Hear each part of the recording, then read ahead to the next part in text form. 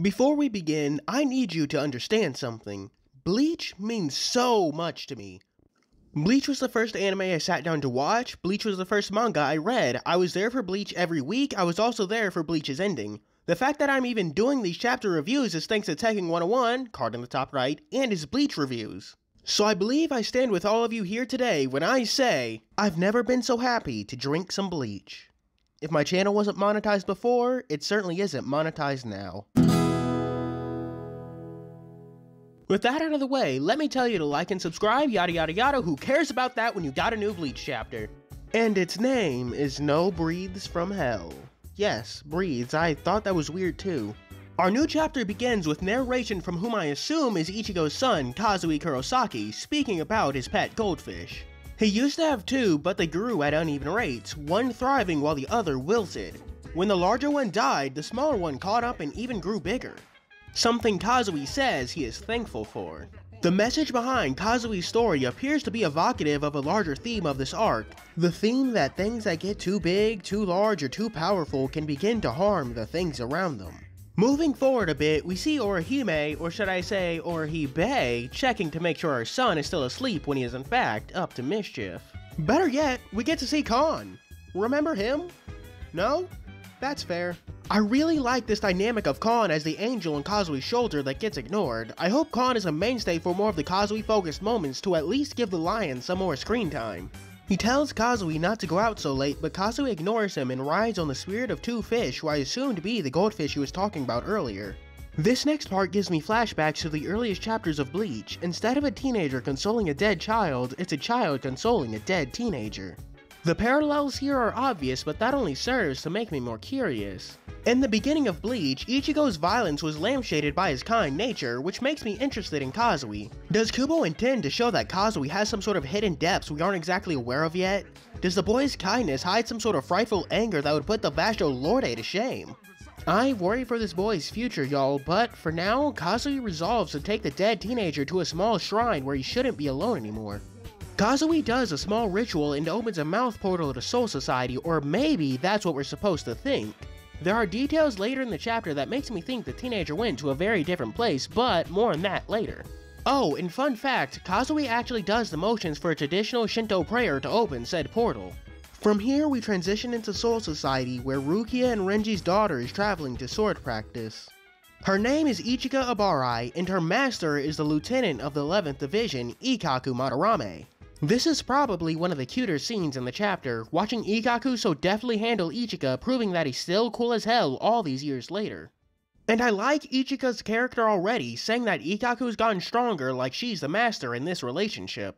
The training session is cut short by the introduction of Femboy Supreme Yumichika, who pulls Ikkaku aside to deal with a very special situation. Twelve years after a captain's death, all the captains attend a vigil of sorts where they kill a hollow that the lieutenants capture per Soul Society's tradition. It doesn't happen all that often because captains usually last a few millennia, but with the whole Aizen debacle and then there was Yhwach shenanigans, they're having some freaking funerals lately. They've already done Yamamoto's and Unohana's, but this time they're doing Ukitake's and Ichigo just so happens to be invited to this one. It makes sense because the only captains closer to Ichigo than Ukitake would be Rukia, Byakuya, and maybe Kenpachi, but I'm stretching on that last one. Anyways, Renji is talking to Ichigo who's helping Keigo by attending his new ramen shop called Spirit Ramen, which is a kinda garbo name, but hey, you do you, Keigo. And Rukia even stops by to say hello to Ichigo and even insists that he comes to the vigil. It appears that Soul Society has made some progress since we've last seen them since they've apparently got phones and FaceTime. They've also got TVs which can tune into the human world now thanks to everyone's favorite poorly dressed man with the funny hat. And praise of Urahara is something Captain Mayuri can't tolerate, seeing as he interjects on the conversation thanks to these hologram bug things, which Mayuri is using to message all the vice captains. Something Ichika conveniently overhears from around a hidden corner. The message is that all vice captains must head over to the human world to capture the hollow for the vigil. We see Nanao head out and Soifon kicking Omaeda so he actually gets off his ass. We then jump to the 7th division where Iba has become captain, which I find super interesting because I want to see his Bankai. His Shikai just gave his sword a pointy bit, so I have no idea what his Bankai will do. Give his sword extra pointy bits? The new lieutenant of the 7th division is a young pretty boy named Itao, or at least I think that's how it's pronounced. He's a brand new character who apparently really digs his birds. From this small interaction, we can see that Iba has some trouble communicating with Atao, likely because he's deaf, but Atao does seem competent at his job, already ahead of his captain. After that, we take a visit to see the 10th Division with Toshiro and Rangiku. Vanilla Ice is a bit peeved that Mayuri went out of his way to set up something so elaborate, and Matsumoto ponders if this is because he's annoyed by Urahara's scientific contributions. This thought is carried over into the 9th Division by Hisagi, who is promptly attacked by laser eye beams. I honestly really like the tech developments that are happening in Soul Society. It seems that after getting clowned on during the Thousand Year Blood War by UI and his army, they decided to catch up with the times. And from a world building perspective, it actually makes a lot of sense. Tech is often developed during war times and it is only during the ensuing times of peace that it begins to be adapted for civilian use. I really do want to see what changes have happened in the Rukongai, but considering the direction this arc is headed, we probably won't see the Rukongai very much. Back to topic, we very briefly see Ichika decide to join them on their trip to the human world like the mischievous little brat she is. You don't need to be Aizen to know that this is going to be a fustercluck of the grandest proportions. And the fustercluck begins in the human world with all the lieutenants and Ichigo generally shooting the shit while they wait around. Ichigo doesn't understand why all the lieutenants have to go catch a hollow, Renji tells them to not judge their traditions, and Rangiku says they should hurry up so they can all drink together. Also turns out that Ichigo works as a translator now, so good for him. Put that English degree to use, my man. We finally get some formal introductions from Renji for the new characters. The new lieutenant of the 7th Division's full name is Atao Rindo.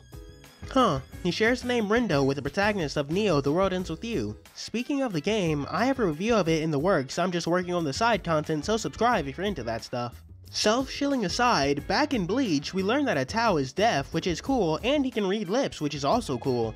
Then we meet the character I'm probably the most hyped to see in the coming chapters. She's the new lieutenant of Squad 8, Shion Yayahara. She's been heavily influenced by the Gyaru subculture of Japan, which is actually a super interesting thing I recommend you read about.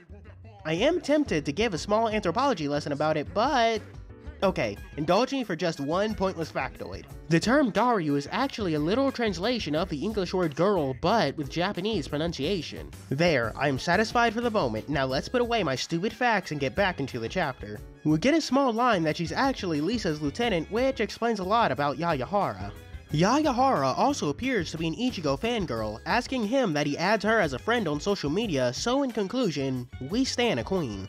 And it's around this time that we catch back up with Ichika who's pretty stoked about actually being able to sneak off to the human world. A neat little detail I didn't notice upon my first reading was the hell butterfly floating above her head, foreshadowing for the next panel. Ichika has a horrifying realization as something appears behind her father and friends. She shouts a word of warning, but it only serves to distract her father as he's attacked by the beast. Renji gets pimp slapped through a house while Ichigo puts down the hollow. The rest of the lieutenants and Ichigo jump into action, taking note of how weird these hollows are for not having any Reiatsu. We see Atao unleash his Zanpakuto by writing its name on the blade, probably because he's deaf and can't actually say its name. The blade itself takes the form of a bunch of paper dolls. Atao is then able to transform the paper dolls, in this instance he transforms them into birds to shred a hollow. And then we see Yayahara jump into action. She doesn't use a Zanpakuto or even a Kido, she uses a strange unarmed technique to take the head of a hollow. I think this might be another one of Soul Society's new developments, like a progression of their unarmed martial art we've seen a few times in the series. Oh, and that martial art they use is called Hakuda, or White Hits.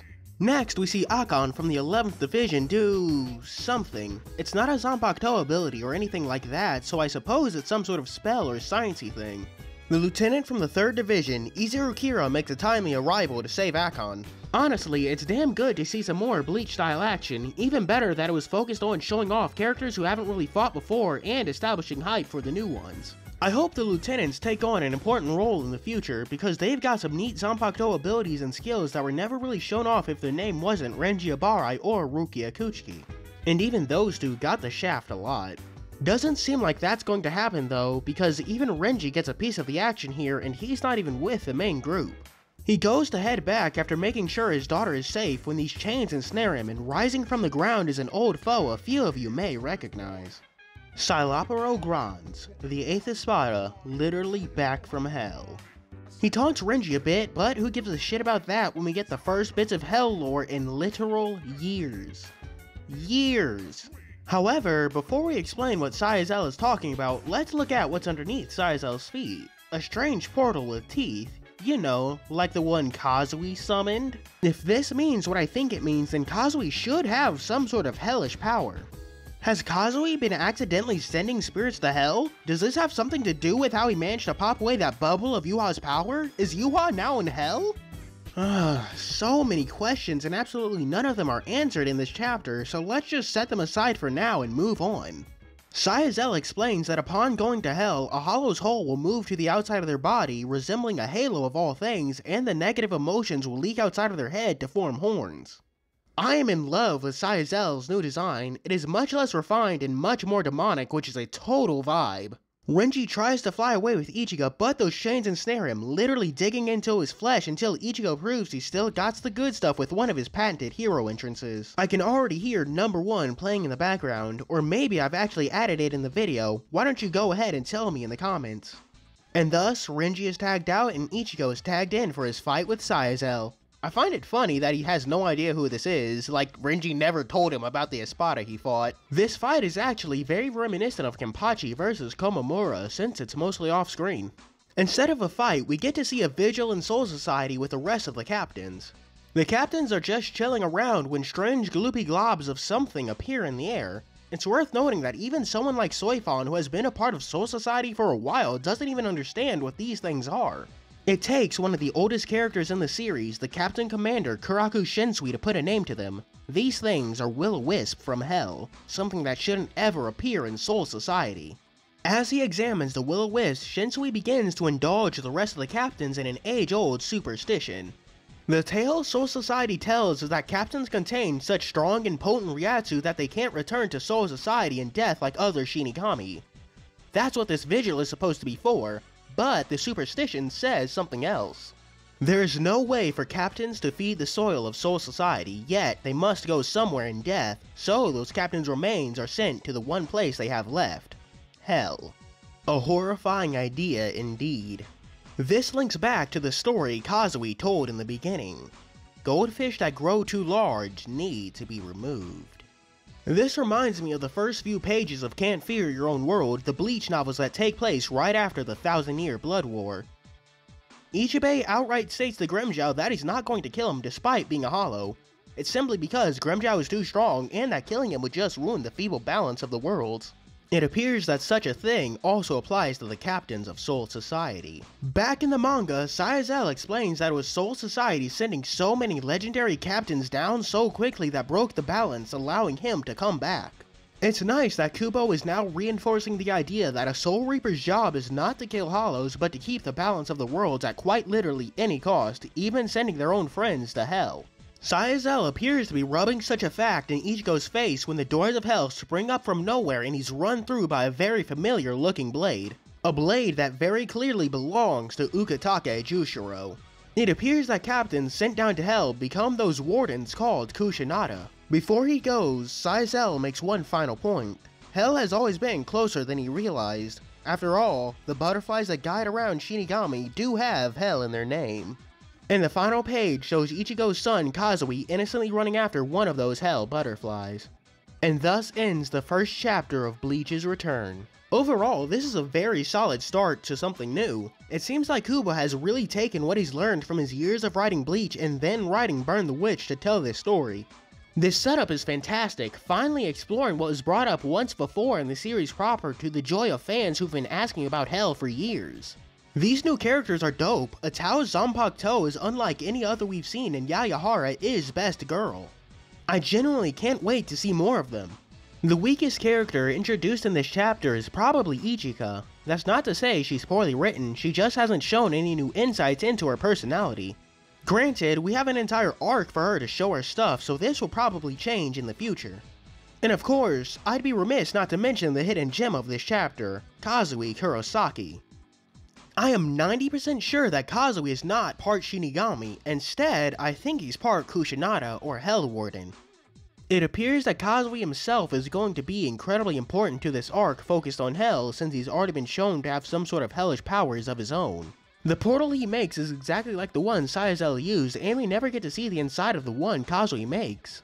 We know that Shinigami do become Hell Wardens or something, so it's not impossible that the Shinigami powers Ichigo passed on to his son have transformed into something else. I do plan on doing a theory video about Kazui's nature, so subscribe if you want to see it. Speculation aside, I'm just glad we're finally getting some canon info on Hell. The Hellverse was fine, but this new arc, New Breathes from Hell, is going to be fire. And before you ask, no, I will not apologize for that pun. If you enjoyed this review, subscribe and hit the bell if you like Jujutsu Kaisen or Neo The World Ends With You, cause I have videos about those on the horizon, or maybe they're already out. Again, I have no idea when I'm uploading this. And with that, I must say, this is your host Fuuri, signing out.